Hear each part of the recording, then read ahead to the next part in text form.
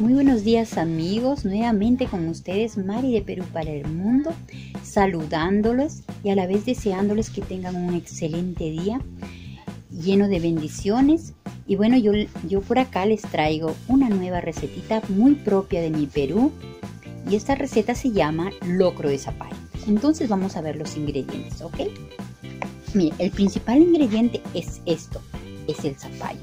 Miren, miren qué grande. Este solamente es una parte de, de un zapallo, porque acá los zapallos son bien grandes, amigos, bien grandes. Y este es un zapallo, se le llama zapallo macre, porque tiene mucha corteza y, y su pulpa es amarillita.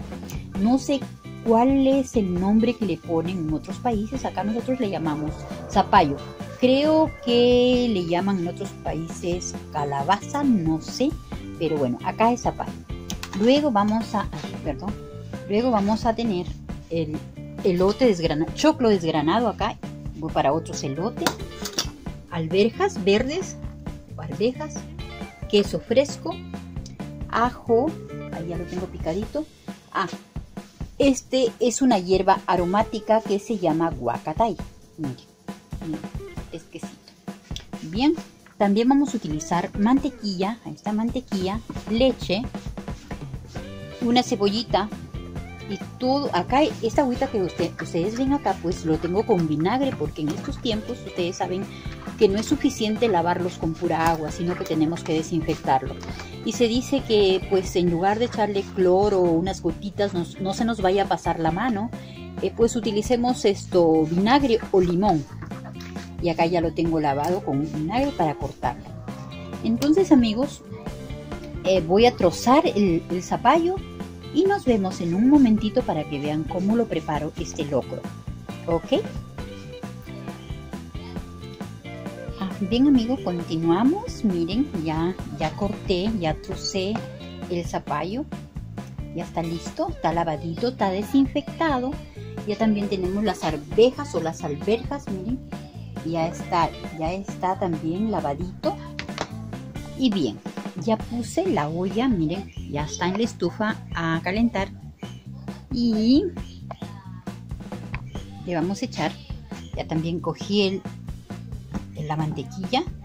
Miren, le vamos a echar esta cantidad de mantequilla a la olla, ¿ok? Mira, que va disolviendo. Ahí va a ir disolviendo. Y voy a agregar el ajito también ahí.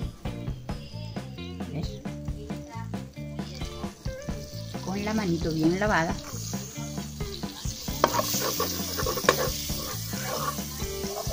pueden, pueden ver, a ver, ahí un poco.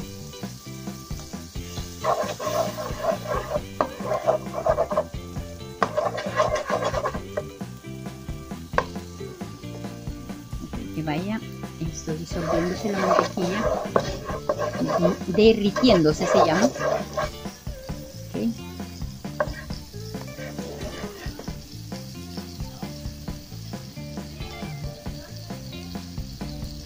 y les cuento amigos que este mes es el mes de nuestra patria, festejamos nuestro aniversario de nuestro Perú. Entonces, eh, en esos días les voy a estar haciendo a una receta también peruana dedicada a mi Perú y por festejar nuestras fiestas patrias. ¿Ok? Ahí está, ya está derritiéndose y vamos a agregar la cebolla.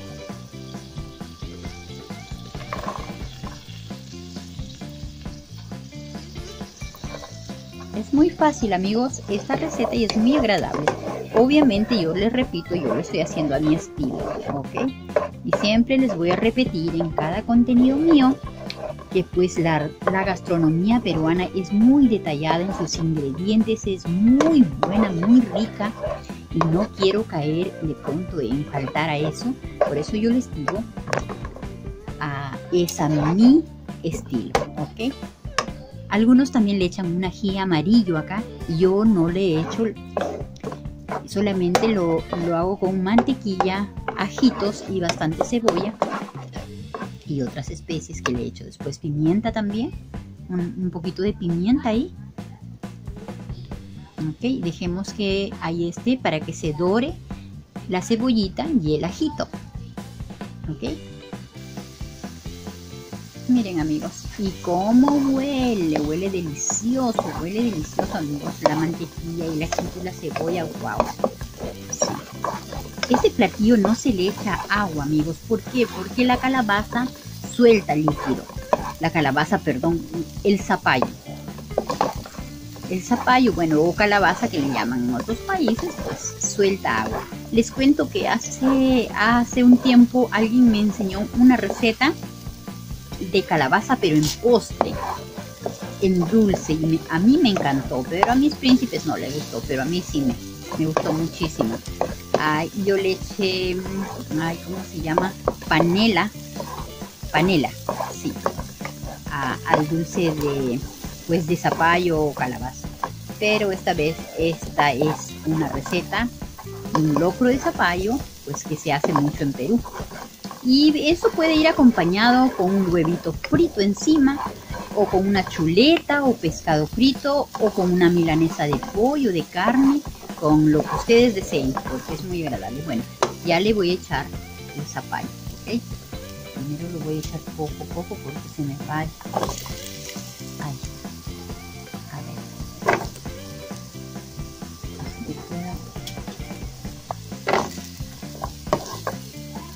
Como les digo, eso no necesita echarle agua. Que no tengo fuerza en las manitos. Bien.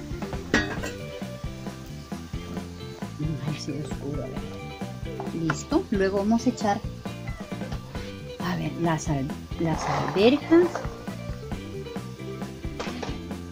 Y el choclito el choclo o el que ya está todo limpio, desinfectado y se va a la olla. ¿Ok? Acá vamos a taparlo sin nada de agua, porque recuerden que va a llevar leche y queso. ¿Ok? Entonces lo vamos a tapar. Luego de un rato venimos, destapamos la olla y le vamos a agregar sal. ¿Ok? Bien, ahí está. Ya está bien tapado y va a soltar el líquido y con eso se va a cocer ok también esto le vamos a echar a ver este consomé.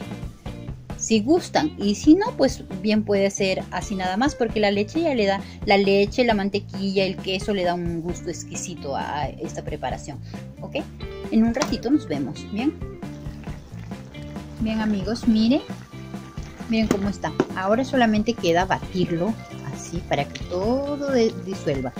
Y como les dije, no le he echado nada de agua, miren. Se hace como un purecito. ¿Ok? Ya entonces, en este momento ya es hora de echarle. A ver, ay, pero la luz no me... Mira. un momentito, voy a traerlas. Bien. Ah, hay que tener cuidado con echarle la sal, amigos, porque recuerden que le vamos a echar queso. Muchas veces el queso es saladito, así que hay que tener bastante cuidado, ir probándolo para que no nos quede muy salado. Esto le, le dejamos un ratito más para agregarle el queso. Agregamos el queso, amigos, miren, en cuadritos eh, tiene que ser queso fresco. Bueno, es lo que uso yo. No, nunca lo he preparado con otro tipo de queso. Tiene que ser queso fresco. Ok, entonces ya está. Ya lo probé, la sal está perfecto. Solamente que cosa unos minutos, unos tres minutos más. Luego para echarle la leche y la, el guacatay, la hierba aromática. En un momentito regreso, ¿ok? Ahora sí vamos a destapar. Creo que ya debe estar listo para echarle esto, la hierbita. Eh, también hay que agregar el consomé, amigos, miren. Ya, ya está. Y la leche. cuidando de no echarle mucho para que no se haga muy aguado. Eso tiene que quedar como un purecito.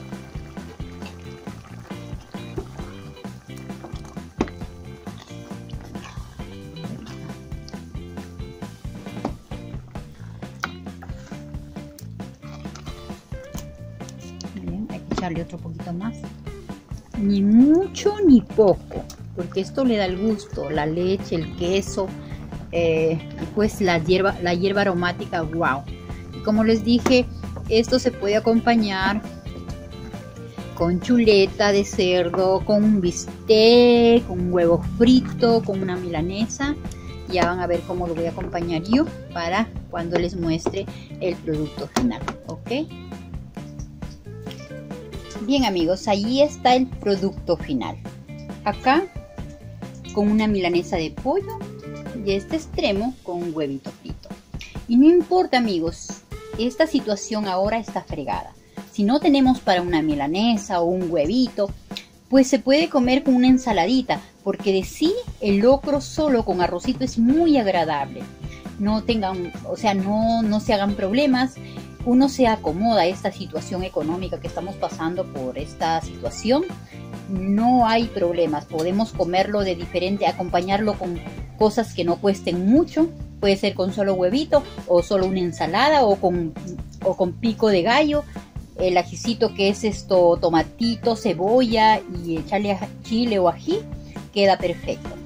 Bueno, con esto me despido, no sin antes mandarles un fuerte, un fuerte abrazo de Mari de Perú para el mundo, decirles que los quiero mucho, que se me cuiden y nos vemos para la próxima, ¿ok?